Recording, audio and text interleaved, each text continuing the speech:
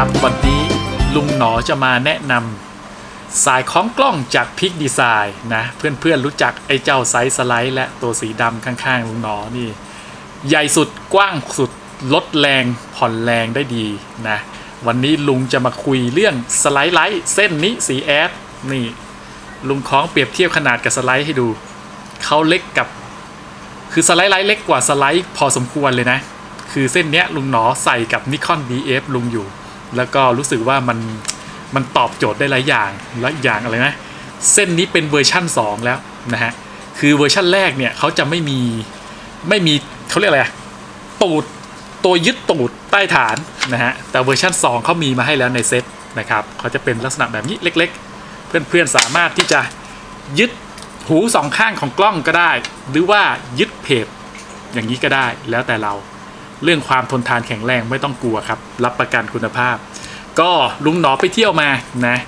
ติดกับไอ้เจ้า DF ไปเอาเดี๋ยวลุงเทียบขนาด นี่ฮะ Slide Lite เป็นไซส์กลางนะ อยู่กับ DF แล้วค่อนข้างโอเคเลย เพราะว่า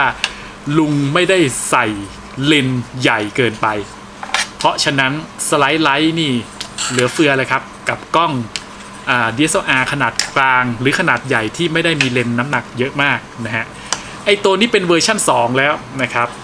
เขาพัฒนาปรับปรุงไปพอสมควรนะฮะตัวนี้เห็นไหม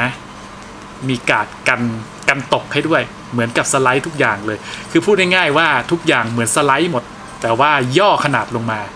แล้วก็อย่างที่คุยไว้ต้นคลิปก็คือเขามีเขามีตัวยึดตูดกล้องให้ แต่เวอร์ชันแรกเขาไม่มีนะ เวอร์ชัน2เขามีให้เรียบร้อยแล้วนะครับ ตัวนี้กะโหลก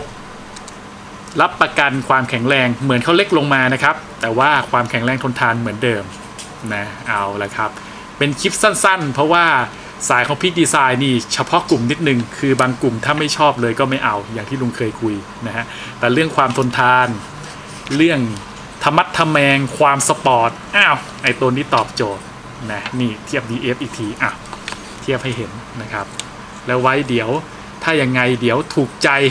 เห็นคลิปนี้แล้ว มาลองที่ร้านลุงหนอได้นะครับอ้าวภาพให้ดูอีกทีหนึ่งแจ่มจริงอะลุงหนอก็ทำคลิปง่ายๆอย่างเงี้ยคลิปนี้ไม่เห็นหน้านะ เอาละครับ ไว้แวะมาลองที่ร้านลุงหนอกันนะอ่าลืมบอกนะเขามีสองสีคือสีแอดแบบนี้นะครับ แล้วก็สีดำนี่เอาเอาของสไลด์มาคล้อง สีดำดำคือดำหมดเลยนะ